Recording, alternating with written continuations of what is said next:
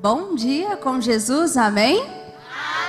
Amém. Vamos ficar em pé, nós começarmos cantando Que maravilha é estar em união lá. Cadê o Davi para Vem ajudar a gente, Davi. Você vai orar, já ajuda a gente a cantar. Que maravilha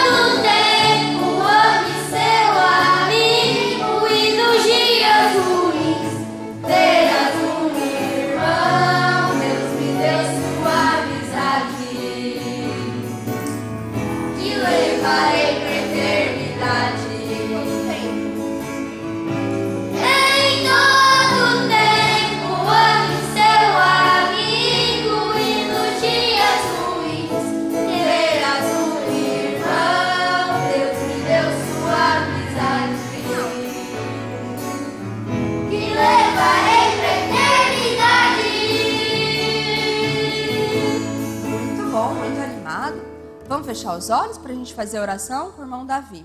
Senhor Deus, muito obrigado, Senhor, por mais essa escolinha, Senhor. Ó Deus, abençoe o que vai ser feito, Senhor. E abençoe o culto que vai ter, Senhor. Ó Deus, muito obrigado, Senhor, por tudo. No nome santo de Jesus Cristo. Amém. Amém. Vamos dizer amém bem forte? Amém. Ixi, se a mim tá muito fraco, vamos dizer amém bem forte? Amém. Vamos aproveitar que a gente está em pé, que a gente não cantou hino faz tempo. Eu quero ir, vocês lembram hino? Lá. Vou começar, quem lembra já me ajuda para cantando, hein? Eu quero ir, eu quero ir, eu quero ir. Eu quero ir, eu quero ir, eu quero ir. Eu quero ir, eu quero ir, eu quero ir. Eu quero ir com Jesus, quero subir. Lembrar? Vamos de novo? Bem forte. Eu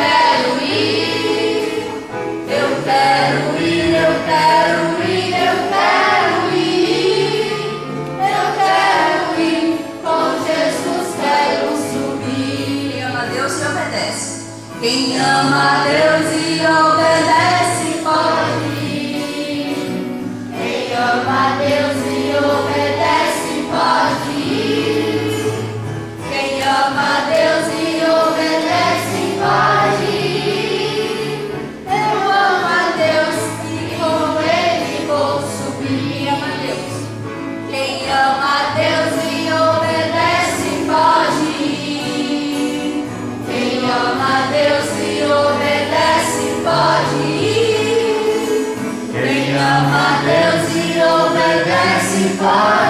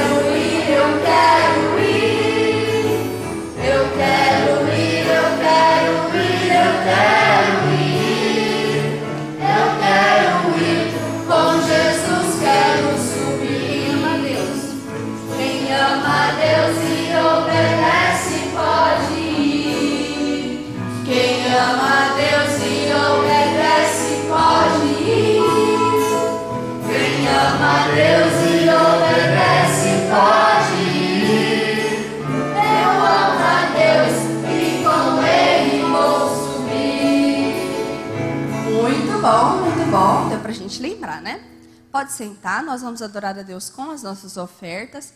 E a irmã Raquel vai cantar para nós Eu Amo o Sol.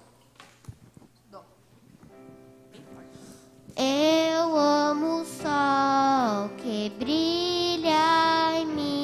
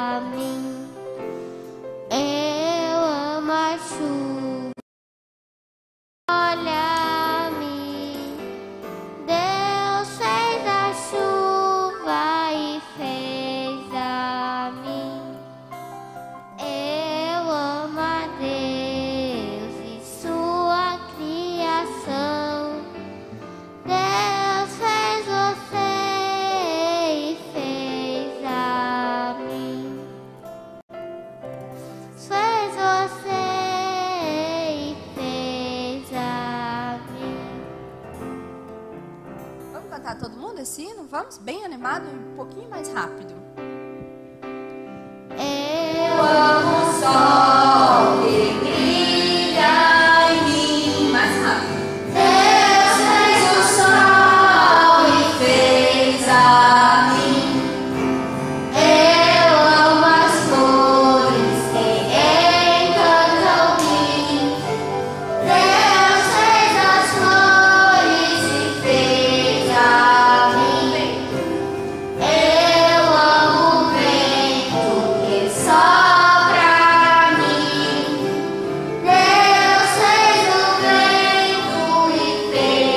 Yeah.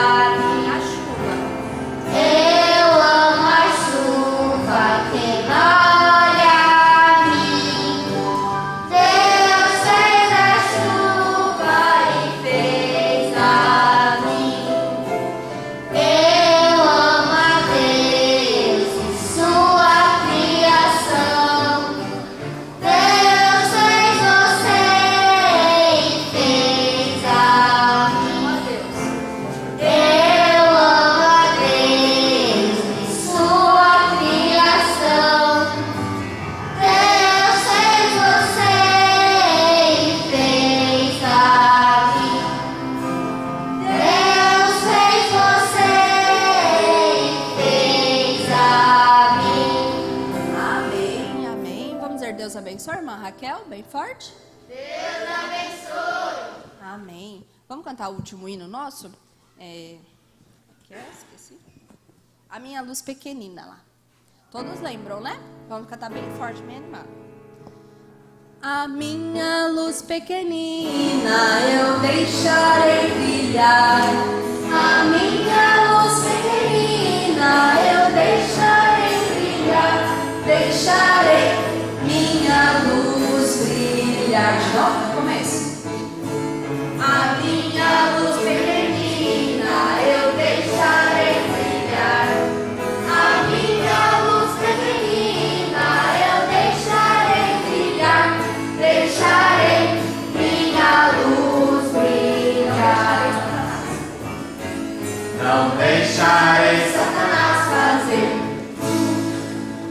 eu deixarei brilhar.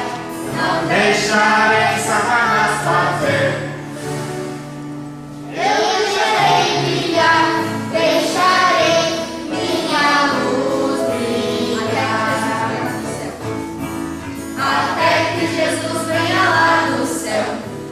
deixarei brilhar.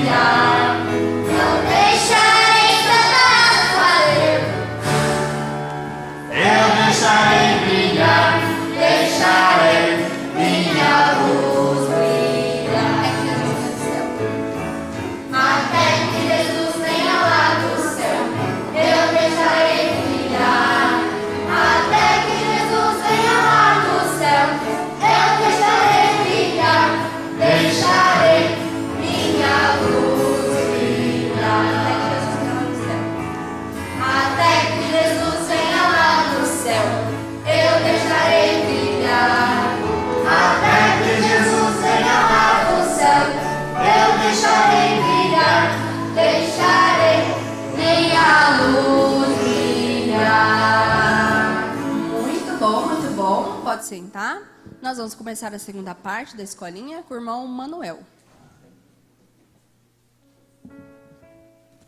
Amém. Bom dia com Jesus, crianças. Amém. Amém. Muito bem. Vocês estão bem? Ah, muito bem. Cantando animadas, estão todas bem, graças a Deus, não é? Então, olha, nós temos os amiguinhos novos aqui. Qual o nome do irmão? Paulo Joab, Irmão Paulo, o nome do irmão? Sérgio Timóteo, Irmão Sérgio, seu nome? Nós. Ah, Lós. Vamos lá, mais um, mais um aqui. Laís, La, Laís? Laís, isso mesmo, muito bom. Então, que Deus abençoe vocês, né? Mas participar aqui da nossa escolinha. Então, crianças, nós vamos continuar contando para vocês algumas histórias. O irmão Davi está aqui com a gente também. Deu seu bom dia? Bom dia com Jesus, amém? Amém. Amém. É muito bom começar este domingo, esta manhã muito bonita na casa de Deus. Como o irmão Roberto já iniciou, iniciamos, irmão Roberto, irmão Manuel já iniciou, vamos continuar a nossa história de Eliseu e contar mais sobre o profeta Eliseu. Isso mesmo. Então, crianças, ó, vou recapitular com vocês. Nós já vimos a história lá no começo de Eliseu carruagem de fogo, não é mesmo, irmão Davi? Quando ele começa ali com Elias, né? Depois vimos ele multiplicando o azeite da viúva.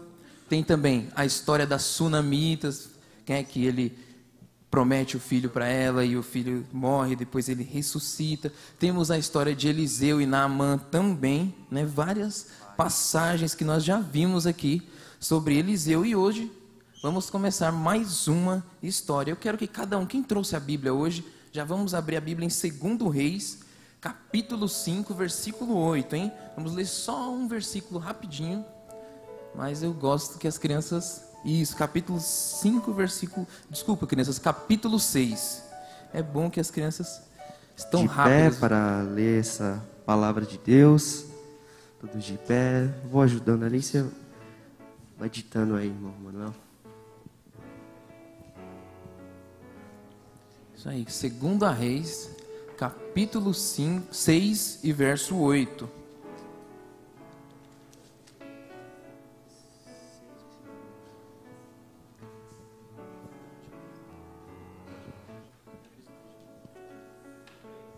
Isso, segundo Reis, capítulo 6, no verso 8, é aqui onde vamos começar, então, a nossa história de hoje, crianças. Então vamos lá, todos encontraram? Creio que todos encontraram, não vejo mais ninguém procurando, né? Então vamos lá. E o rei da Síria guerreou contra Israel e consultou com seus servos, dizendo: Em tal lugar e tal lugar estará o meu acampamento. Então, amém, crianças. Podem fechar as Bíblias, podemos se assentar já. É só para vocês verem o começo da história, né? Então, o rei da Síria, ele começou uma guerra contra Israel. E essa história se iniciou lá na Síria. Era um reino um pouco perto de Israel, ali depois do deserto. E lá estava aquele rei planejando em tal lugar e em tal lugar. Ele consultou os seus companheiros de guerra, né, os seus soldados ali, os seus homens, e consultou a eles em que lugar ele iria fazer emboscadas para travar ali o rei de Israel quando ele passasse. Olha lá, aquela imagem, né, vocês podem acompanhar enquanto eu estiver contando, vamos passando algumas imagens. Então ali ele discutiu com seus soldados aonde ele iria colocar os seus soldados, né? E então o que aconteceu? O profeta, o homem de Deus, fez saber o rei de Israel aonde estaria os inimigos e disse ao rei, mandou dizer ao rei: Ó oh, rei, não passe por aquele caminho, pois ali os seus inimigos estarão te esperando para te matar. E então o rei de Israel se salvou, e ele não se salvou uma vez, nem duas vezes, muitas vezes. Então, crianças, ele, colo ele colocou, o rei de Israel colocou soldados naquele lugar, ele não passou por lá, ele colocou soldados. E isso atrapalhou os planos do rei da Síria, né? Vocês imaginam? Ele criou um projeto ali de guerra e não estava dando certo. Então o rei da Síria ficou com o coração pesado, ele turbou o seu pensamento e pensou: Ora, mas eu converso com só os meus oficiais. Como que o rei de Israel ele está descobrindo aonde os meus soldados estão? Deve haver algum traidor aqui, não é mesmo? E daí ele reuniu seus homens e perguntou: Quem de vocês é pelo rei de Israel? Olha lá, o rei da Síria estava preocupado, estava conversando com seus homens ali para descobrir quem era o traidor, quem que estava contando para o rei de Israel onde ele ia passar, não é mesmo? E então, o que acontece é que um de seus homens falou a seguinte palavra: Não, ó rei meu senhor, nenhum de nós é o traidor, mas o que acontece é que existe um homem de Deus em Israel, e ele faz saber tudo o que o senhor pensa para o rei, tudo o que o senhor pensa, até mesmo na sua cama de dormir. Então o rei da Síria pensou: Ora, como esse homem descobre as coisas, né? Ele era o profeta Eliseu. E aí o que acontece é que o rei da Síria reúne os seus homens e diz o seguinte: descubram onde esse homem está e vão prendê-lo. E eles descobriram que Eliseu estava em Dotã, na cidade de Dotã, e foram lá e cercaram a cidade. Eles foram de noite, na calada da noite, e cercaram. O rei mandou carros, cavalos de guerra, olha só quantos homens para a cidade de Dotã prender Eliseu, o homem de Deus que estava sabendo para onde aquele rei estava indo, dos seus planos de guerra. Então o que aconteceu? O moço do profeta, aquele jovem que está sempre ali com o profeta, né, ajudando ele, acordou bem cedinho de manhã e saiu. E quando ele olhou, ele viu a cidade toda cercada por todos os lados por cavalos, carros, muitos inimigos, e ele ficou assustado. Olha só, vocês conseguem ver aquela imagem, ó? a cidade toda cercada e eles assim olhando assim no raiar do dia. Imagina você acordar cedo, vai tomar o seu café e a cidade toda cercada de inimigos, hein? Então ele fala ao profeta: Meu senhor, estamos cercados de inimigos, o que vamos fazer? E aí Eliseu fala, bem calmamente, né? Mas, mais são os que estão conosco do que os que estão com eles. Essa é uma frase muito importante, guardem essa frase no coração de vocês, pois mais são os que estavam com Eliseu do que os que estavam com os inimigos. E olha que tinha muitos inimigos. Então, criança, sabe o que aconteceu? O jovem falou: Mas, senhor, eu não entendo. Só temos nós dois aqui e os inimigos na nossa porta. Eu não estou entendendo. Então, Eliseu orou a Deus e disse: Deus, abra os seus olhos para que veja. E ele viu lá carros e cavalos de fogo sobrevoando sobre eles. Olha só, crianças, que coisa aquela imagem. Então, Deus abriu os olhos dele, então ele não estava enxergando com os olhos espirituais. E ele viu homens, carros e cavalos de fogo, né? Então, crianças, quem venceria, né? O exército da Síria lá embaixo ou os carros de fogo de Deus, né, que estavam protegendo eles? E aí o que acontece é que Eliseu desce, ele ora a Deus e diz o seguinte: pede para Deus cegar os círios. E chega neles assim, todos eles são feridos, todo aquele exército ficou cego. E ele diz o seguinte: Não está aqui o homem que vocês procuram. Eles estavam procurando por Eliseu. Venham comigo e eu vou mostrar onde ele está. Ele foi bem esperto e levou eles até a cidade de Samaria. E sabe o que é Samaria? Samaria era a capital de Israel, era o centro. E aí, chegando lá, ele orou a Deus novamente e pediu para que Deus abrisse os olhos daqueles soldados. E quando eles abriram os olhos, eles se assustaram porque eles estavam cercados pelos inimigos. O povo da Síria estava cercado pelos Israel, eles estavam no meio da capital deles. E aí, o rei da Síria, vendo aquilo, falou: O rei de Israel, ele vendo aquilo, falou, perguntou para Eliseu: O que eu devo fazer? Devemos ferir os inimigos? Devemos prendê-los? O que devemos fazer? Eliseu disse: Não, vamos apenas alimentar eles e mandar eles de volta para a terra deles, para que eles saibam que existe Deus em Israel. Então, criança, essa história aqui mostra que essas coisas acontecem, né, os inimigos cercam essas coisas, para que seja mostrado que existe Deus em Israel. Né? Muitas coisas difíceis às vezes acontecem para que seja mostrado que Deus está ali.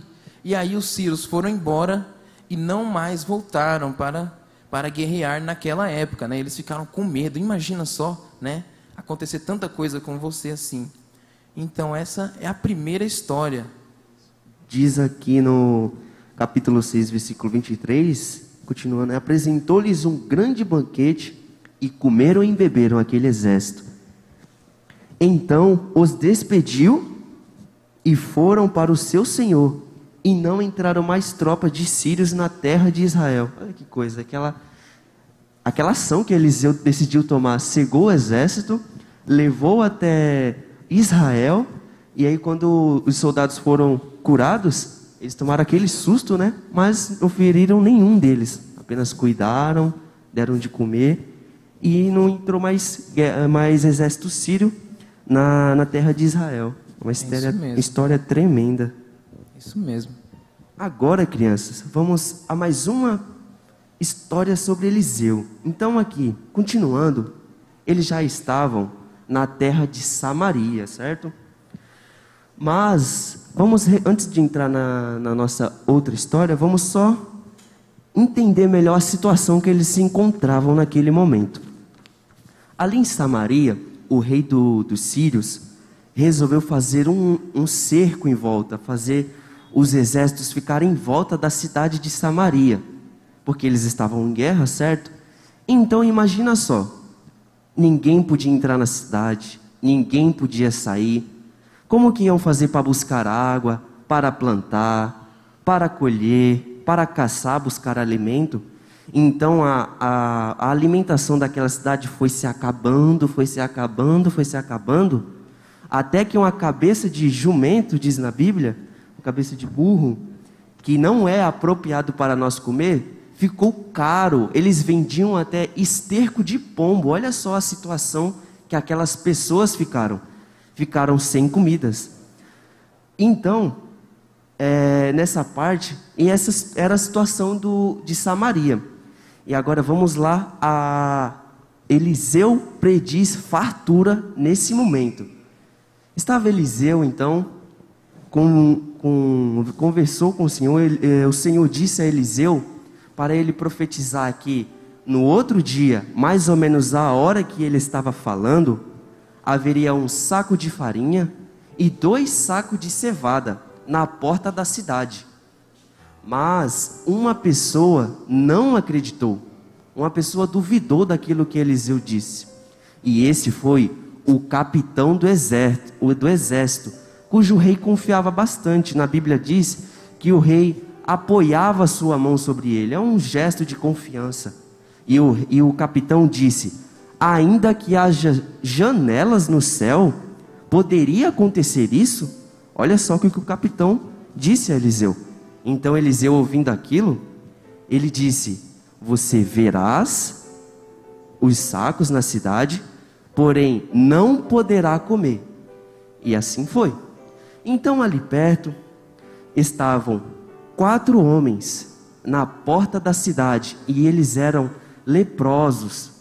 Esses quatro homens estavam ali discutindo, conversando. Para onde que eles iam? Eles estavam falando: é, se a gente ficar aqui, a gente morre. Se a gente parar lá, vamos morrer também. Então eles decidiram ir para o arraial dos sírios. Então eles disseram: Bom, vamos para o arraial dos sírios. Se nós morremos lá, então morreremos. Que situação para esses homens, hein? Chegando lá, eles notaram que o arraial estava muito quieto. Um arraial, você sabe o que é um arraial, crianças? Alguém sabe explicar? Não, né? Um arraial não é bem uma cidade. É um lugar que vai ficar ali, montaram cabanas, que não vai ficar ali fixo. É só por um momento, porque eles estavam em guerra e montaram um arraial. Então são várias e várias cabanas. E quando esses leprosos chegaram lá, não havia ninguém, ninguém estava nesse arraial, porque o Senhor tinha feito as pessoas de lá ouvir cavaleiros, cavalos, como se fosse um grande exército. Então eles pensaram: estamos sendo atacados. Então eles, ó, correram e deixaram tudo para trás: roupas, seus cavalos, suas cabanas, tudo, deixaram tudo para trás. Então, os, aqueles leprosos acharam uma oportunidade. Eles começaram a entrar nas cabanas, então pegaram as roupas, acharam ouro, acharam prata, começaram a beber, começaram a comer, e eles iam assim, de cabana em cabana, olha lá, ó, eles lá comendo, entrando nas cabanas, olha lá, os leprosos comendo, pegando roupa, olha só a situação daqueles homens. E assim foram eles. E eles perceberam assim: se nós ficarmos aqui até amanhã, algo de ruim vai acontecer conosco. E eles foram então avisar ao rei, anunciar ao rei deles. E eles chegaram na porta da cidade e, diz, e disseram, né? Gritaram: Nós fomos na cidade, no arraial dos sírios e não havia ninguém. Eles anunciaram e o rei, sabendo disso, um rei astuto, ele pensou: Ah, só pode ser uma estratégia. Como não pode ter ninguém lá?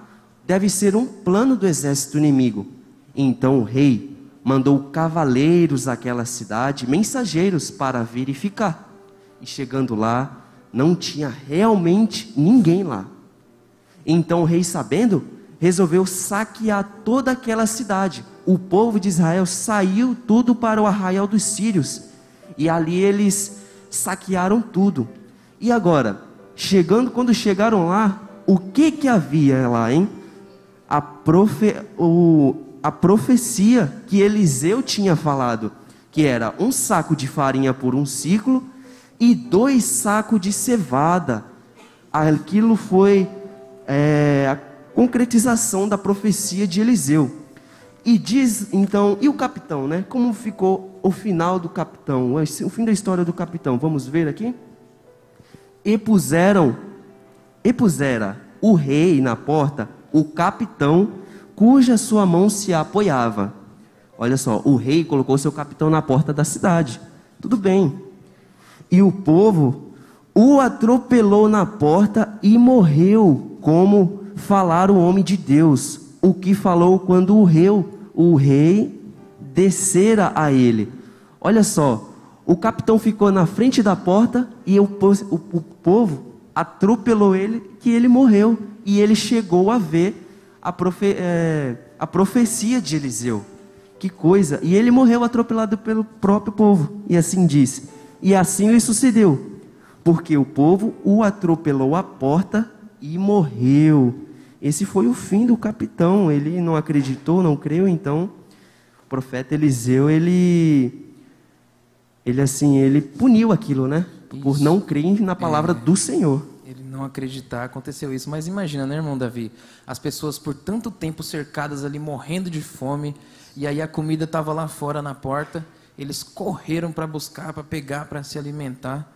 É, foi uma situação muito difícil que o povo de Israel passou, não é mesmo? Isso mesmo, eu imagino, né? Que situação. Ia acabando a comida e eles ficando preocupados. Isso mesmo. Essas foram as nossas duas histórias de hoje de Eliseu. As próximas vai ter mais duas depois do retiro. E falando em retiro, quem está animado por retiro, hein? Quero ver as mãozinhas levantadas. Isso aí vai ser muito, muito bom. Temos uma novidade para vocês. Vamos ter lá um caça ao tesouro, agora no retiro. Aquele da, aqui da igreja acho que foi fácil demais para as crianças, né? Nossa, eu vou poder participar também? Olha, você vai poder participar ajudando, viu, mano? então vamos ter um caça ao tesouro para as crianças. Vai ser. E quando achar o tesouro, né? Vai ter o prêmio para vocês. Olha só. Muito bom. E ó, mas eu precisava da ajuda de vocês. Para esse caça ao tesouro, ia pedir uma lição de casa para vocês. Para vocês estudar passagens bíblicas de Jesus.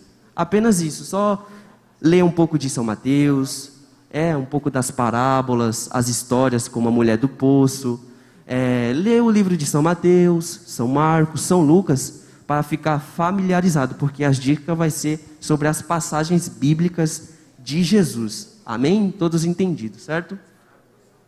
Não, as passagens, a parábolas, passagens, histórias. Então, é mais isso mesmo. Muito bem, muito bem, né? Vamos dizer Deus abençoe nossos irmãos, bem forte? Parabéns, irmão Manuel, irmão Davi, né, pelas suas apresentações, suas histórias, muito bom, né? Graças a Deus. Então vocês entenderam, né? Para o retiro, é, vamos fazer no sábado, talvez, né? Então nós vamos, é, vocês precisam estudar sobre as passagens bíblicas, né? Principalmente as parábolas ali, São Mateus, tá bom? Para vocês responderem, senão não vão saber para onde ir, né? Lá no Caça ao Tesouro, entendeu, né? Muito bem. É, então, dito isso, vamos ficar em pé. É, vamos orar agradecendo a Deus. Gostaria também de agradecer toda a igreja, né, pela, pelas orações em favor da minha esposa, em favor de nós. Vocês, nós percebemos o amor desta igreja, de todos aqueles que mandaram mensagens, né, de carinho, de força para nós, né, nosso pastor também. Deus possa retribuir e abençoar cada um dos irmãos, tá bom? Muito obrigado por tudo. Minha esposa já está melhor, já está aqui, né? Graças a Deus está bem. Vamos orar, então, fechar nossos olhos, inclinar nossas cabeças e orar com nossa irmã Joana. Senhor Jesus, obrigado por mais este dia, Senhor. Obrigado por mais este dia. O pastor que vai pregar, abençoe todos, Senhor. Abençoe as, as pessoas que estão enfermas, Senhor. As pessoas que não puderam vir e as que puderam, Senhor. Abençoe mais este dia, Senhor. Em nome de Jesus. Amém. Amém. Deus abençoe você, irmã Joana. Deus abençoe cada criança. Quem não tomou seu café, pode ali atrás ainda tomar, tá bom? Deus abençoe.